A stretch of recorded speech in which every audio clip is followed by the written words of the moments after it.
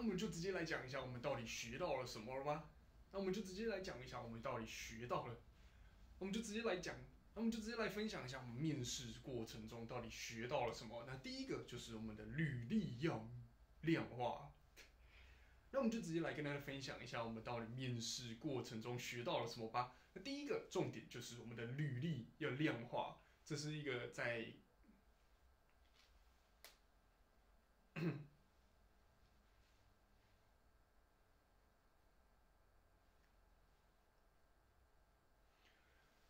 第一个，那我们就直接来跟大家分享一下我们面试中学到了什么东西吧。那第一个就是我们的履历要量化，就是我们要有一个数字跟大家分享，而不是说哦，我摄影好厉害，哦，我剪超快之类的，不，一个没有很明确的一个指标。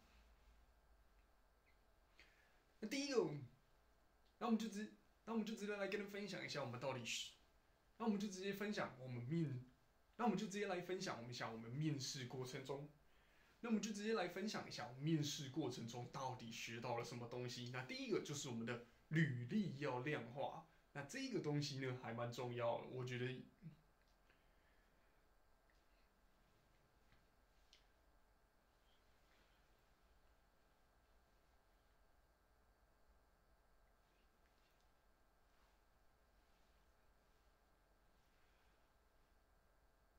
那我们就直接来分享一下，我们到底面试学到了什么东西。那第一个呢，就是我们的履历要量化。履历呢，就是一大堆的自我介绍，其实就拼凑出来一个看起来很有经验的东西。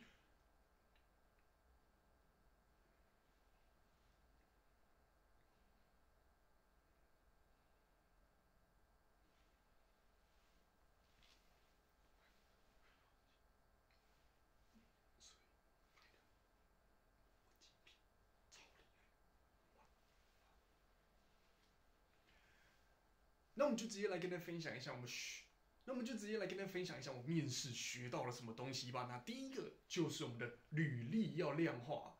履历，你如果只写说哦，我拍摄好厉害，我剪片很快，我影像制作很棒，我拍的很漂亮，这种很笼统，不知道你在攻虾米的东西，最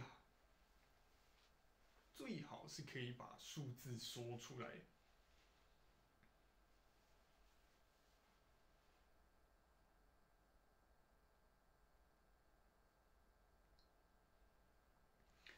那我们就直接来跟他，那就直接来跟他分享一下面试学到什么东西吧。那我们就直接来跟他分享一下我面试学到了什么东西。那第一个重点就是履历也要，那我们就直接来跟他分享一下面试学到什么东西吧。那第一个重点就是履历要量化，履历要量化就是要数字化，让你看到数字。因为你如果说哦，我拍摄好厉害，我拍的画面很漂亮，我剪辑超快。之类的，这根本不知道你写的公虾米东西。那你如果把它量化，像是我把它写出来，后面的履历我就把它改成这样：我拍了两百多支商业的影片，我拍了一千多支自媒体的行销影片，我拍呃，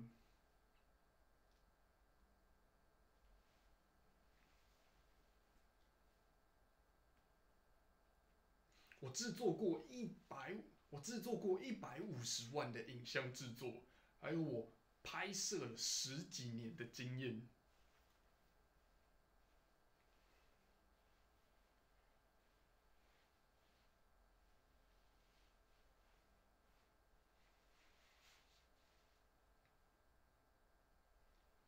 还有我拥有十多年的拍摄，还有我拥有十多年的拍摄制作经验。那这些有数字化之后，我们看起来就比较知道哦，你到底做了什么事，可能吧？所以就是，所以我们把数，所以我们把履历量化，所以我们把履历量化之后，我们看起来就比较知道哦，你的等级在哪，或者是你的经验真的在哪，就比较详细吗？我也不知道。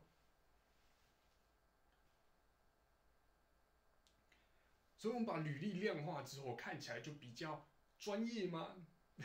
所以我们把履历量化，看起来就比较专业一点吗？就是比较看起来你不是在胡乱，就是你如果说哦我拍的好棒，这差很多吧？就一堆形容词跟真实的数字存在，感觉是不一样的。那面试官他们比较喜欢看数字，因为他们比较可以知道你的等级在哪里，就比较可以量化啦。反正履历量化。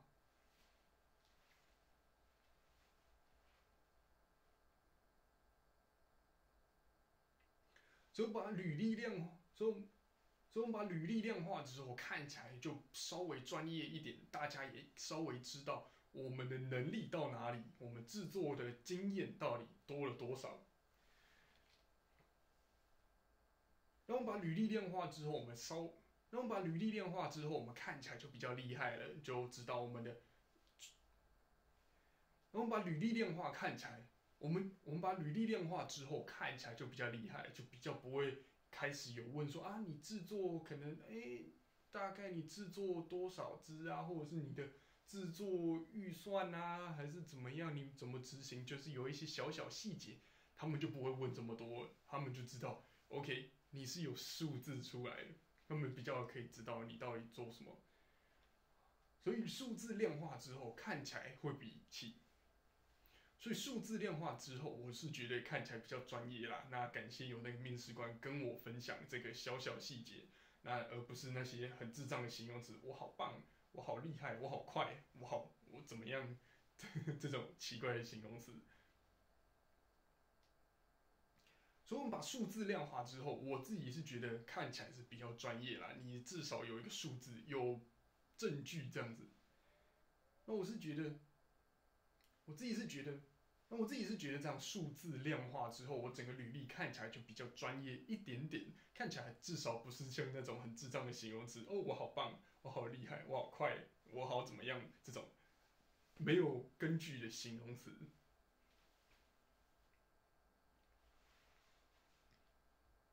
所以我把履历量化之后，我自己是觉得看起来是比较专业啦，而且你大家知道你到底，呃。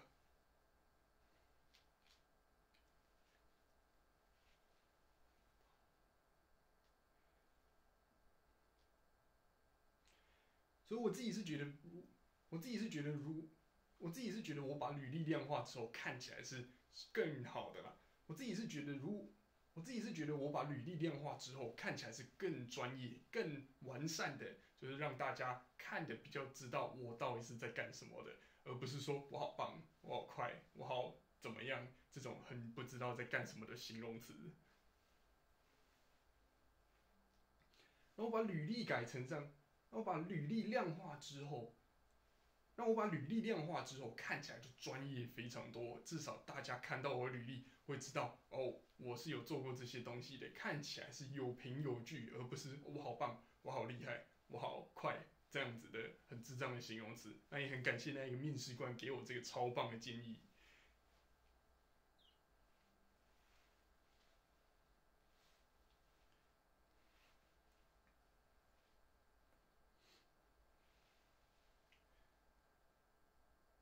那履历、履历、履历写的这个部分也真的非常，那履历整个填写也非常非常重要，就是它决定了你面试官对你的第一印象，就是他还没看到你之前的第一印象，连脸都还没有看，他已经先给你一个第一印象了。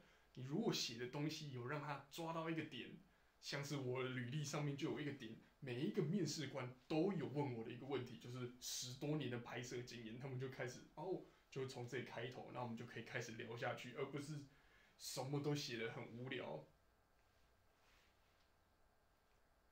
那好的，那好的履历制作，那好的履历非常非常重要，它决定了你第一印象，就是它，履历真的非常。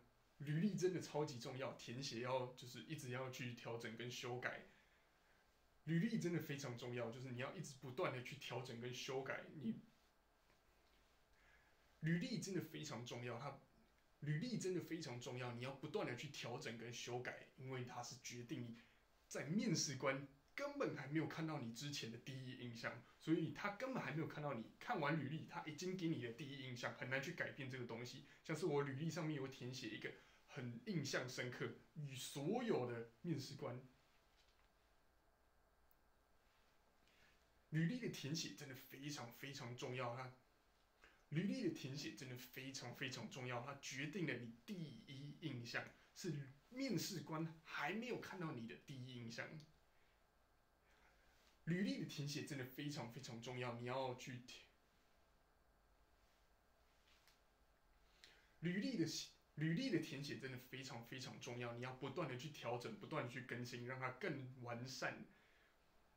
嗯，履历真的，履历的填写真的非常非常重要，你要不断的去更新，不断的去调整，因为它决定了你面试官对你的第一印象，是根本还没有看到你的第一印象，这真的非常非常重要，而且他们是谨记在心。如果你真的有给他们印象的话，像是我履历上面有写一个，就是我有十多年的拍摄经验，每一个面试官第一句话一定是问我这一个，他第一印象就是这个，想问的第一个问题就是这个。十多年拍摄经验，那我就可以开始跟他们聊天啊，开始跟他们开始一个很欢乐的一个话题，这样子就是第一印象啊。那他们也会从这里面开始抓问题出来问你，因为这就是他们所有知道你的一切。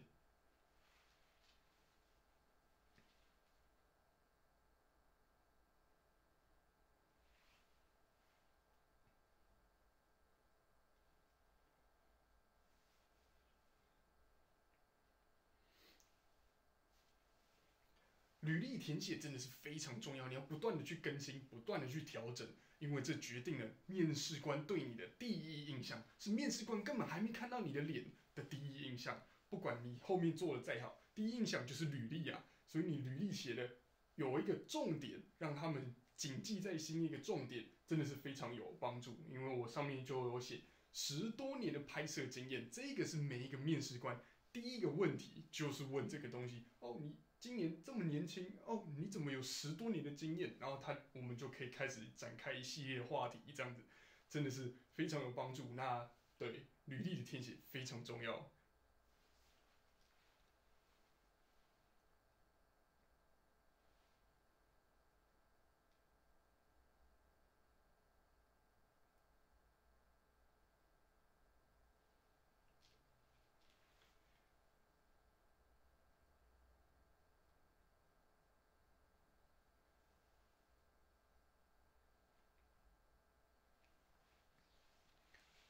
那调整可以怎么调整？那调整怎么？那调整部分怎么？那调整部分你可以怎么调整？就是你可以跟面，那调整的部分你可以怎么调整？你跟一个面试官面试完之后，你可以去面，那履历可以怎么调整？那就是你跟面试官讲完一，那面那履历怎么调整呢？就是你跟面试面，那履历要怎么？那履历要怎么改？那履历要怎么改善跟调整呢？你简单，履历要怎么改善跟调整呢？就是经，履历要怎么调整呢？履历要怎么改善跟调整呢？简单来说，就是你要让它，履历要怎么改善跟调整呢？简单来说，就是一目了然，让它。越简单越好，所以你面试了几个面试官之后，你就会知道哦，他们问的问题大概是这些。那他们没有问到的问题，你那些可能就不是重点，他们觉得不是重点东西，那你可以把它拿掉，去让你的重点更凸显出来，而不是就是一大堆，然后他们就是哦，可能有看到这个，结果遗漏了重点，就得不偿失啦。所以你就是精简单扼要啦，简精简你的履历，反正就是简单扼要啦。精简你的履历。